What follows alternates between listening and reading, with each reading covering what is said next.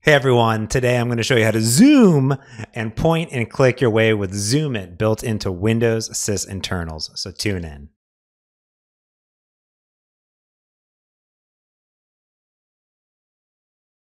All right, welcome back, everyone. I'm James Montemagno, and today I'm going to show you how to point, click, zoom, type, do all those cool things that I've been doing in my Xamarin Forms 101 videos. Of course, you can subscribe, ding that bell, and get all sorts of awesome presentation tips, live coding tips, and of course, learn about mobile development with Xamarin right here on my channel. All right, let's get into it. I've been getting a lot of questions around how do I zoom in? How am I making arrows, drawing boxes, doing all these cool things? Well, it's really simple. There's a simple tool that you can install called ZoomIt. It's part of Sysinternals, uh, which you can download completely for free from Microsoft.com. I'll link to it in the show notes below. Here it is, ZoomIt.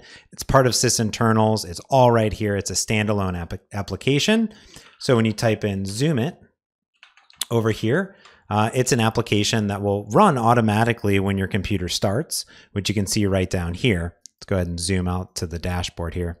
Now there's a bunch of different tools that are here. Now I'm actually going to zoom with Camtasia since uh, when Zoom is open and running, it doesn't actually zoom. It's only when it's minimized down uh, because it'll let you reprogram these. So here you can have zoom, live zoom, which I'll talk about, draw, type, and break, uh, which is kind of cool too. So zoom is what I use almost all the time. I default to 1.5 magnification and I zoom in and out. And I do that with control one. You can change this if you want this to be control eight. I like control one. It's just the default. Over for live zoom, that's control four, which I'll talk about. Draw, I don't really use it all, but there's a bunch of things that you can do here, such as different pen colors, shift tab, different keys that you can do. And then break um, is actually, or type, I mean, is a way of actually just typing and drawing on the screen when you're in this mode, which is nice. And then break, which is a break mode, and I'll talk about that here in a second. So I'm just going to hit OK, and I'm going to go ahead and bring up Visual Studio. All right. So the first thing I'm going to do is Control 1 over here. And what we see is that I'm moving around on the screen. And in ZoomIt mode, you're selecting the area of the screen that you want to freeze frame and you tap and you click. And now I have this cursor here. So a few things. If I simply just draw and click around, I can draw. If I hold down control, I can draw a box. So that's really nice if I want to highlight Android here. If I do control and shift, I can then create an arrow drawing away from what I'm doing here. See what I'm saying here? So that's really cool. And then all I got to do is hit escape and I'm out of it.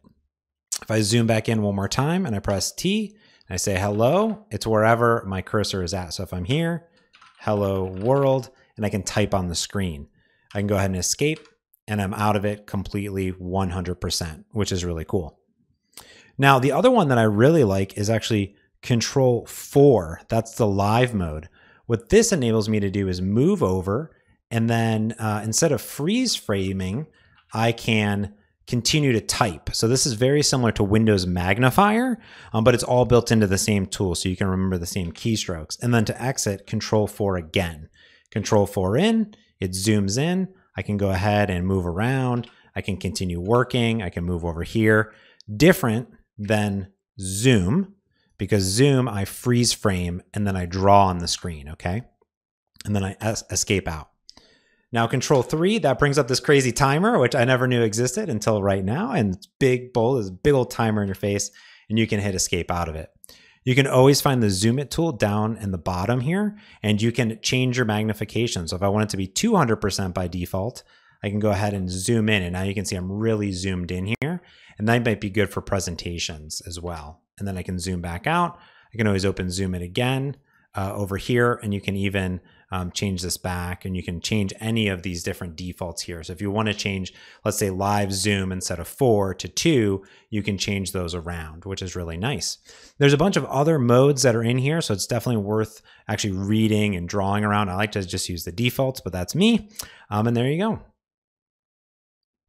And just like that, it's that simple to start zooming, pointing around, drawing arrows, drawing boxes, live editing, and zooming in with ZoomIt built directly into Sysinternals. Anyways, I hope you enjoyed this short little video that will hopefully amplify your presentations or your live coding experience to make sure all of your viewers can see what you're talking about on the screen.